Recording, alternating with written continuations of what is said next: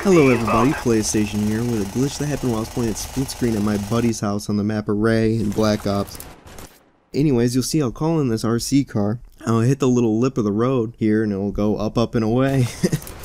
Uh, I thought it was pretty funny. I haven't seen much of this on YouTube, so I thought, hey, might as well post it.